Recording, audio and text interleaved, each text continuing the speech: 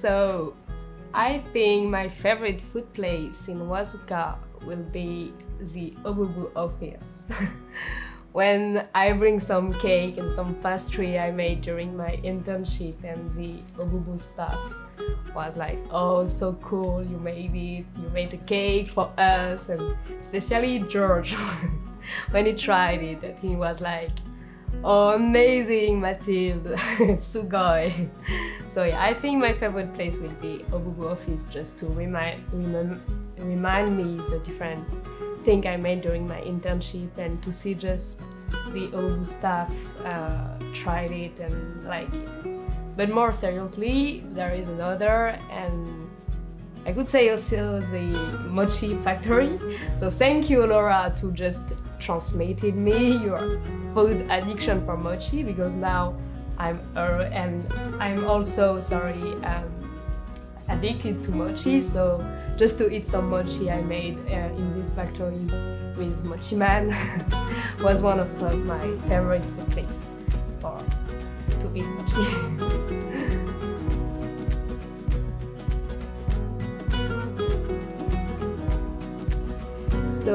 my favorite place to drink a delicious cup of Obubu's tea, I think will be just the fields.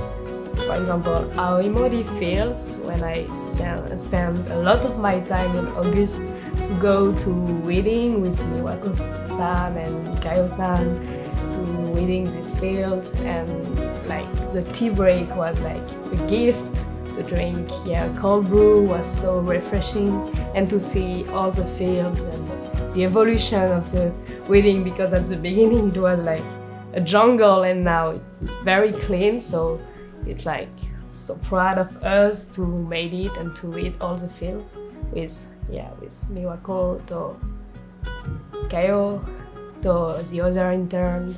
And yes I think Aoimori is the best place to drink a cup of tea.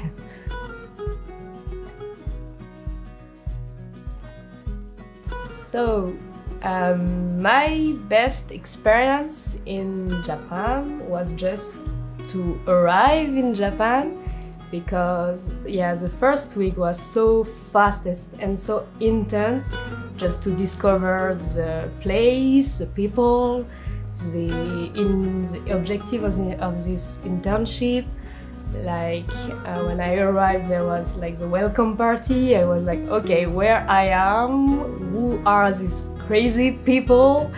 And then we had the hand rolling and picking uh, events with the other intern. It was so nice to just uh, make the tea by yourself and drink it after also we go we went to the onsen and to the first restaurant I made in Japan, I ordered a, a big plate and of course I finished it and yeah, it was so cool to spend some time with the other intern and to just discover the, the place and yeah, the people, the Obubu staff.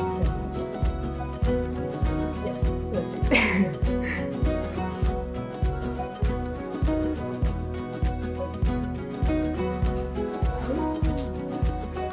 my best memories in Wazuka was an afternoon in August. Uh, I just worked with Aki-san for all day, all day, sorry, and on the afternoon we went to a field.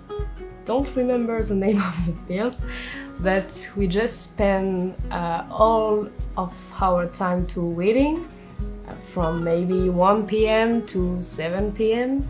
But I didn't realize the time was gone and we just talked a lot, a lot, a lot with Aki-san and for the Japan culture, the tea, the French culture, uh, the different, our different passion and so many topics and just I didn't saw the time was gone. And at the end the the sun was getting uh, setting already and the landscape was just amazing we just yeah yeah it was just amazing and it was just waiting, but to talk and to yeah to be on the tea fields with in Wazuka yeah, with Aki-san, it was so nice and so good memories for me.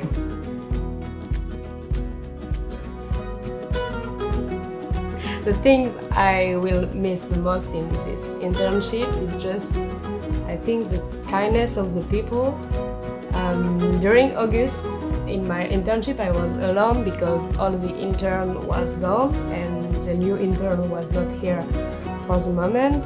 And so I was alone on the Obubu house and the Obubu staff and the farmers, the friends was so worried about it. And so they give me so many things, so they was just so kind with me. And yeah, I just can't forget this because it was so nice. And also just the to be in Obubu and to work with the other intern, with the Obubu staff on the office, to drink a cup of tea with the other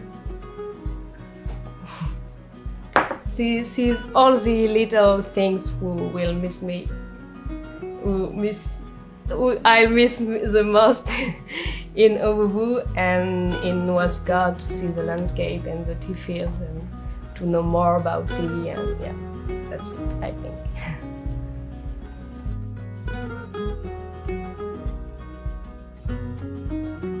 What is my favorite tea? Right Big question. I just so when the other intern goes, I just liked one tea, which is Kyobancha, and I was like, okay, I want to take a bag for me in the Bobo house, and I was like, maybe the most bigger is quite too bigger for me. I will never finish it, so I took one and I finished it in maybe two or three weeks. So I just can't say now. Uh, is obviously my favorite tea because I can drink it warm and also cold brew. It's already, yeah, it's always a, a good taste and I love it. It's very sweet and yeah, very simple to brew also because I'm quite lazy and see if I forgot it it's already it's also good so yeah. My favorite tea is Kyobancha thanks Saya-san to to transmit me your passion for this tea because I love it